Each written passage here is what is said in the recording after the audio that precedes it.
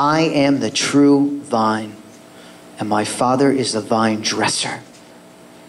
Every branch in me that does not bear fruit, he takes away. And every branch that bears fruit, he prunes, that it may bear more fruit. You are already clean. Hear me out here. You are already clean because of the word which I have spoken to you. There is no condemnation in Christ Jesus, guys. No condemnation. John 3:17 says, "For God, well, we know 3, 6, 3 16, we know John 3:16, guys, right? For God so loved the world that he sent his only begotten son that whoever believes in him shall not perish but have eternal life." 3:17.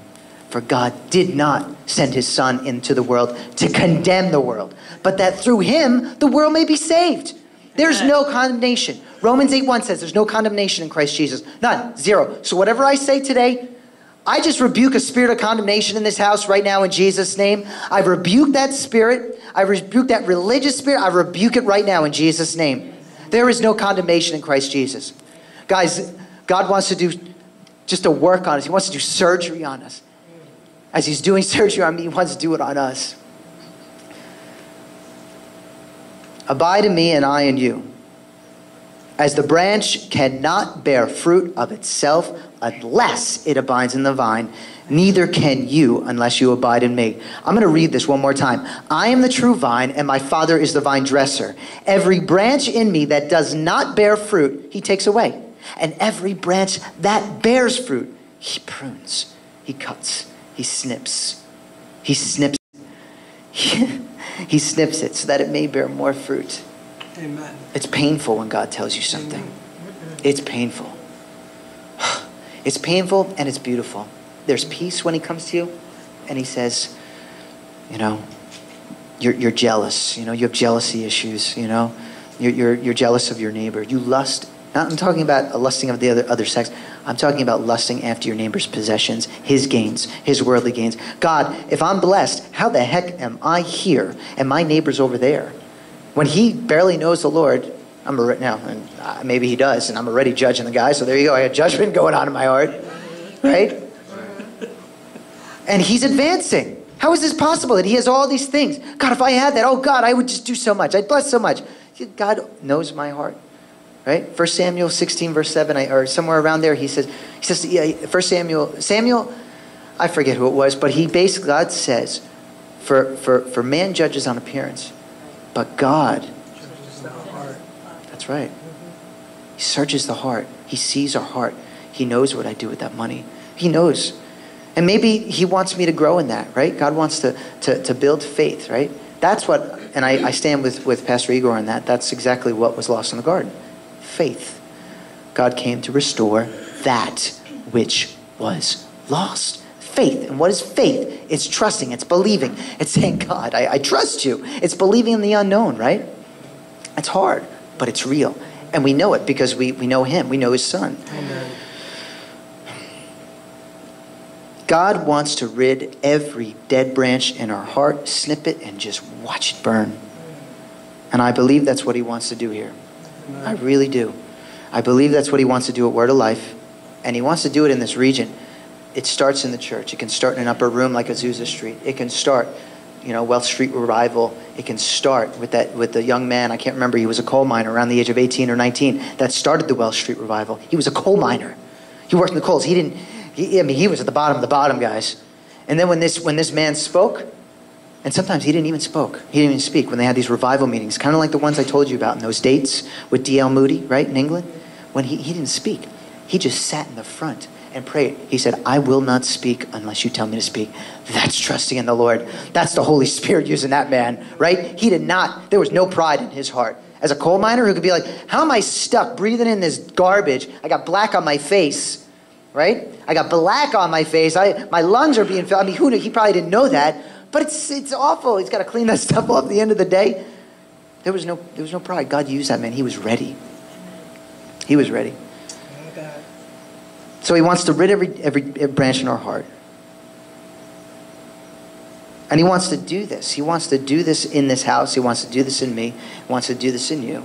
He wants to do this in all of us, guys. He wants to do it for a reason because he wants to come. He wants to come. He longs to be with his bride. He longs to be with us. right? The, the spirit, what is it? The spirit um, yearns jealousy. I, I forget that, that, that scripture. Something, basically, the spirit is je- he's jealous. He's just dying for encounter, right? And where two or three are, and I don't know, guys, there's a little more than two or three are with us, you know, there he is in the midst of us. Amen. Right? But it starts with a God cry. And all of my, you know, research that I've done, I, I didn't finish college, you know, but just some of the reading I did, some of the stuff that I did, revival starts with a conviction from the Holy Spirit. I can't do it. You can't do no. You know what I mean? It's got the, the conviction's got to come, and and then you. It's like a corporate kind of repentance, you know, or, or or confession, so to speak, out loud, you know. And it's not. I'm not saying that we all got to confess and scream, out "Oh God, forgive me." But but God, there there there are things that are going on here. There are people in the church here, and and and like myself, that God has spoken to you 10, 15, 20 years. I feel like someone with 20 years ago, they revealed something to you. They revealed something to you, and you said, Yeah, yeah, oh, okay, yeah, I'll write that one down. And then you never dealt with it. I feel like God wants to snip that today. I feel like He wants to burn it today. I feel like the branches are going to be clipped today.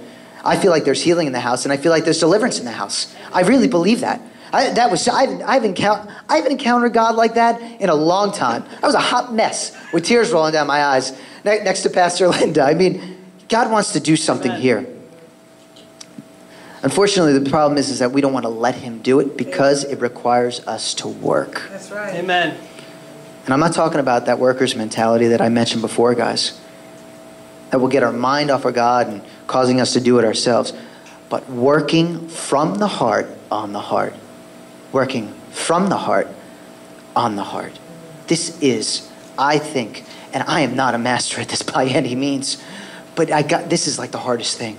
It really is. Like, oh God, you're working from a place of love. God has impacted your heart. You have a spirit living inside you. You know, your, your, your soul is redeemed. I mean, you are, you're going to spend eternity. That's it. It's time.